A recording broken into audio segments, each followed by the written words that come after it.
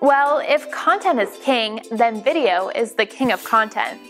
We all heard the saying that a picture is worth a thousand words. So, what is a video worth? Forrester Research actually did the math for us. One minute of video is worth 1.8 million words. Let me add another astounding number just to make the point crystal clear.